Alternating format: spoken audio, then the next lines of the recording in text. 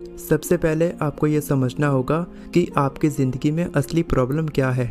आप अपने किस तरह के थॉट्स कॉन्शियस और अनकॉन्शियस एटीट्यूड को बदलना चाहते हैं, जिससे आपकी ज़िंदगी और बाकी लोगों की ज़िंदगी प्रभावित हो रही है। रिकॉग्निशन का मतलब है, आपको हर दिन लाइफ रिव्यू यानी अपनी ज़िंदगी की समीक्षा करनी होती है। नोटिस करना होता है कि आप क्या हैं और मरने से पहले आप क्या करना चाहते हैं। जब आप कॉन्शियसली अवेयर होते हैं, जब आप एकदम चुपचाप शांति से रिलैक्स होकर बैठते हैं और अपनी पर्सनैलिटी पर ध्यान देते हैं, तभी आप अपनी ज़िंदगी में एक बहुत बड़ा बदलाव ला सकते हैं। Begin your own life review अपनी पुरानी पर्सनैलिटी को समझने और उसे बदलने के लिए आपको कुछ सवालों के जवाब देने होंगे। कुछ समय निकालकर आपको इन सवालों के जवाब खुद से पूछने हैं और उसके जवाब एक नोटबुक में लिखने हैं। What kind of person have I been मैं किस तरह का व्यक्ति रहा हूँ? What type of person do I present to the world मैं किस तरह के व्यक्ति को दुनिया के सामने पेश करता हूँ? What kind of person am I really like inside मैं अंदर से किस तरह का इंसान हूँ?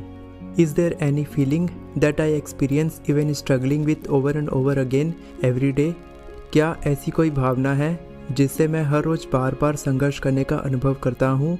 How would my closest friends and family describe me मेरे सबसे करीबी दोस्त और परिवार मेरा वर्णन कैसे करेंगे? Is there something about myself that I hide from others क्या मेरे बारे में कुछ ऐसा है जो मैं दूसरों से छुपाता हूँ? What part of my personality do I need to work on improving मुझे अपने व्यक्तित्व के किस हिस्से में सुधार लाने के लिए काम करने की आवश्यकता है। What is one thing I want to change about myself मैं अपने बारे में एक चीज़ क्या बदलना चाहता हूँ? Choose an emotion to unmemorize अब आपको अपनी कोई एफ्लिक्टिव इमोशनल स्टेट्स यानी पीड़ित भावनात्मक स्थिति और लिमिटिंग स्टेट्स ऑफ़ माइंड यानी मन की सीमित स्थिति या कोई ऐसी हैबिट जिससे आप छुटकारा पाना चाहते हैं, उसका चुनाव करना होगा। क्योंकि ऐसी सेल्फ लिमिटिंग इमोशंस आपके ऑटोमेटिक अनकॉन्शियस एटीट्यूड का निर्माण करते हैं, जो आपके लिमिटिंग बिलीव्स को बनाते हैं, जो आपके पर्सनल परसेप्शंस यानी आपकी व्यक्तिगत धारणाएँ बनती हैं। नीचे दिए गए सर्वाइवल इमोशंस में से आपको किसी भी एक इमोशन को चुनना है, जिसे आप अपने दिमाग से भुलाना चाहते हैं। ऑथर आपको रिकमेंड करते हैं कि आप उस इमोशन को अपनी नोटबुक में लिखें, क्योंकि उस इमोशन पर आपको आगे के स्टेप्स में काम करना है। हो सकता है आपका इमोशन नीचे दिए गए लिस्ट में ना हो। सर्वाइवल इमोशंस के कुछ एग्जाम्पल्स इस प्रकार हैं। असुरक्षा, घृणा, जुल्म, अपराध डिप्रेशन शर्म, चिंता खेद, कष्ट, निराशा, डर, लालच, उदासी, ईर्ष्या, क्रोध, अयोग्यता, कमी। ज़्यादातर लोग कहेंगे, क्या मैं एक से ज़्यादा इमोशन चुन सकता हूँ? लेकिन शुरुआत में इंपॉर्टेंट ये है कि एक बार में आप केवल किसी एक इमोशन पर काम करें, क्योंकि ये सारे इमोशंस एक दूसरे के साथ न्यूरोलॉजिकली और केमिकली लिंक्ड हैं। फॉर एग्ज़ाम्पल क्या आपने कभी नोटिस किया है कि जब आप गुस्सा होते हैं, तब आप फ्रस्ट्रेटेड रहते हैं। जब आप फ्रस्ट्रेटेड होते हैं, तब आप जलन महसूस करते हैं। जब आप जलन महसूस करते हैं, तब आप दूसरों को जज करते हैं। जब आप दूसरों को जज करते हैं, तब आप इनसिक्योर फील करते हैं। जब आप इनसिक्योर फील करते हैं, तब आप सेल्फिश हो जाते हैं। तो ये सारे इमोशंस बिल्कुल एक ही तरह के सर्वाइवल केमिकल्स के द्वारा बनते हैं। उसी तरह से अच्छा महसूस कराने वाले इमोशंस काम करते हैं।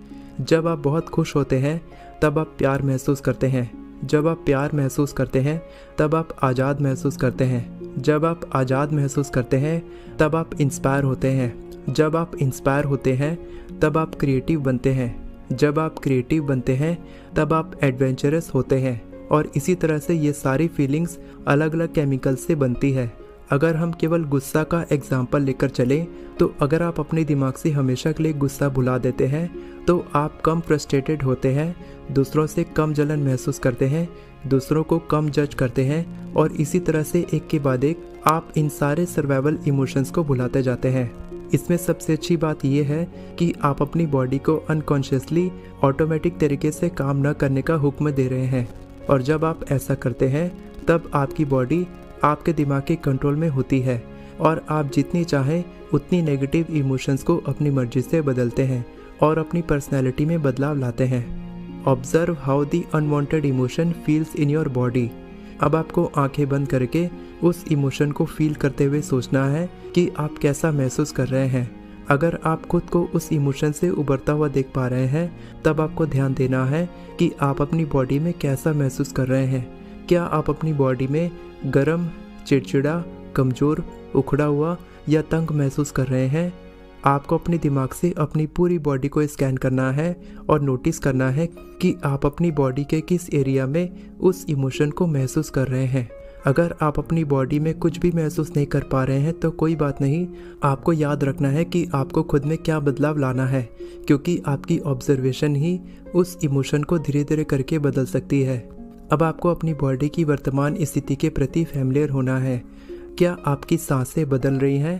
क्या आप इम्पेशेंट महसूस कर रहे हैं? क्या आप शारीरिक रूप से दर्द में हैं? और यदि ऐसा है तो अगर उस दर्द में कोई भावना होती तो वो क्या होती? बस ध्यान दें कि इस समय शारीरिक रूप से क्या हो रहा है, और इससे भागने की कोशिश न करें, उसके साथ रहें।